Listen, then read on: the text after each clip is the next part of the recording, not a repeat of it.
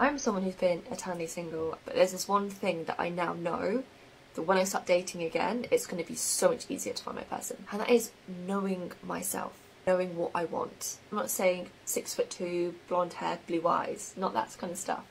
I mean, that would be nice, obviously, you know, if they look like how you want them to look. Child free by choice. I'm also 36, so I can't be having a guy that's on the fence about having kids, or and I don't really want somebody who's got young children either because I don't envision that for my life over the next couple of years. Deal breaker, that's pretty common sense. But also in terms of Oh, well, hold on. You don't you don't want to date a single father? You're not a real woman.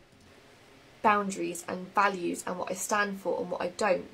I went on a date a few about six, seven months ago with a guy who had too much to drink, in my opinion, to then drive home. I said to him, "You probably I can drop you somewhere. Like, you should probably get a taxi." Like, I was driving and sober, and I let it slide. He's like, "That never happens." Yeah, I probably had that extra drink I shouldn't have had. The first date, and I went on two or three more with them. For me, that's like telling the universe as well as that person that that is okay with you and it's not. I'm just more secure now in going in, being cutthroat, to be honest.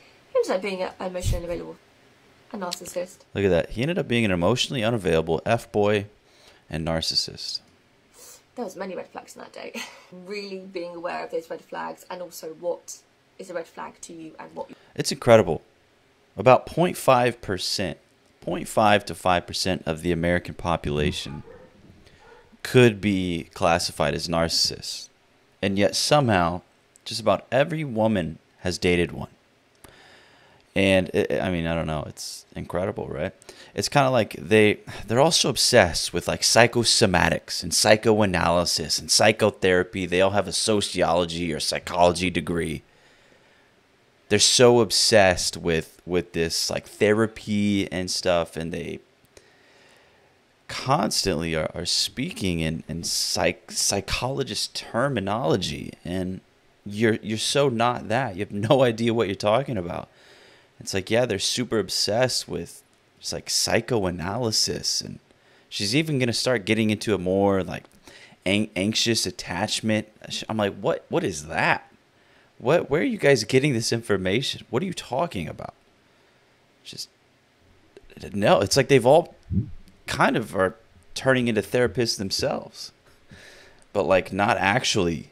And then they want you to date them and it's they're just going to be psycho analyzing you the entire time and the problem is is they don't even know what they're doing they don't know what they're talking about so they're gonna go on a first date and like, oh, he, he picked that up with his left hand. That shows signs of anxious attachment style from his childhood.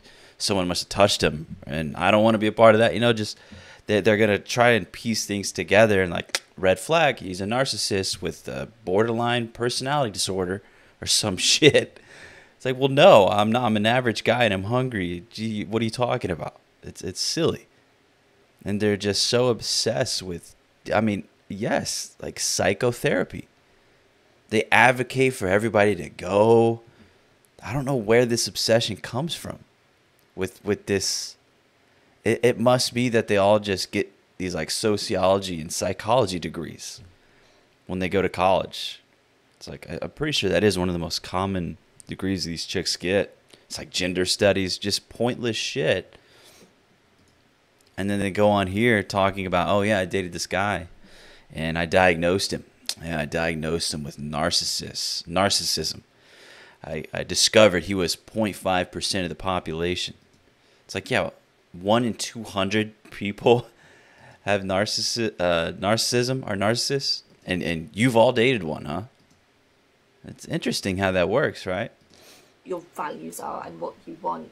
I know myself now about the way I feel about some. I'm not excited to see that person again in a romantic way. I know people are going to be here saying, oh, that's your anxious attachment. I've done that before where Anxious. I've tried to say it's just my ego and it's just my commitment phobe issues. Commitment phobe issues, my ego, my anxious attachment. It's like they all think things. These things are are what do, what do they like to say? Rooted in it's it's rooted in fear of commitment. It's rooted in this. It's just no no it's not. You stop psycho analyzing everything Stop suggesting therapy over little things.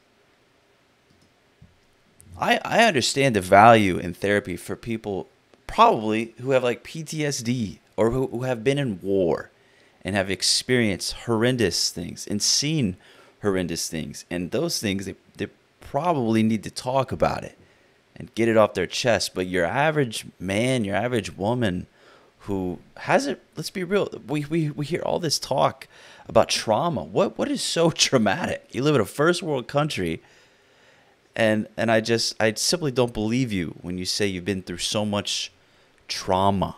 Trauma. It's these buzzwords. It it is very fem centric language, right? Extremely it's extremely feminine. They just want to push therapy on everybody. I'm like, no, I don't I don't I don't think so. But then again, this is probably just propaganda pushed by therapists. And they're, dude, can you imagine the the booming industry that is therapy? These people must be raking it in. I saw a meme the other day, and it was like a therapist rubbing rubbing their hands when they see a girl with blue hair walk in. Just like, yep, there's a bag, there's a check, there's a recurring client just secured my payment on my Mercedes Benz out there. It ended up being completely the wrong relationship for six months. I was dating this guy and it never felt right and I just kept blaming myself and like just being scared and it's like just trusting yourself. If I'm not excited to see that person, if it's a he's nice, he's fine, it was alright, just like no. Like no, no matter how good on paper it might look. No. The thing is I'm going back out with is keeping to my deal breakers, sticking to my values and what I accept and what I don't accept, which to me, not what's reasonable as female behaviour, aligned with my values and what I think is important and how someone should behave or not behave. And the last one is listening to my body. Listening to your body. Well, what? I don't understand. What do you What do you mean? Listening to your body, as if man, I remember reacting to a clip a long time ago, and this chick was saying she started dating this guy, and her IBS started flaring up, or something like this, and she took that as a sign. This man, this the man is the problem. Now I understand how stress can probably agitate these issues, right? But to to but that's not the way she was articulating. She was saying this is some sort of message from the universe that this man is not the the man meant for you. It's not even that he was making her super stressed. It was just her being around him. His energy was was making her IBS flare up. And and again, it's like it's like psychosomatics. It's just enough. What are you talking about? And then the, you'll hear them talk about numerology, astrology, it's like, won't date a Gemini. No, that's where that's where I draw the line. But I will date a criminal. And so here's another clip. I think she refers to this guy again. I think as a narcissist, maybe not, but it was it's some some form of the the female jargon. Hi, darlings. Let's talk about being nearly 30, but definitely being single. If you are new to my page, my TikTok, my name's Zoe. I'm 29 and I'm turning 30 in July. And I am single. I have been single now for three years. There was a little something in between, but honestly, at this point, doesn't even count. I have kind of done my life a little bit backwards. Around 25 years old, I've been in a really long term relationship. I bought a house with this guy, totally envisaged being together for the rest of our lives. Literally, when we bought our house, there was a nursery at the end of the road, and we talked about sending our theoretical future children there. So this was very serious. But I had like a little bit of a midlife crisis. She had a midlife crisis. She got bored. I think I felt like I was settling down way too early and way too young. Settling down way too early, way too young. Not to interrupt, but 25 years old. You, you, it's not like you're 20. It's not like you're 21. You're 25. I mean, that's that's too early to be settling down. Huh? Crazy, man young and I just hadn't lived my life yet. We broke up. So I did have another relationship after that that was All right, again I'm going to interrupt. What what do you mean lived your life yet? Can they just cut to the point? Wait, hold on. Do you think you can't live your life with this man you're with?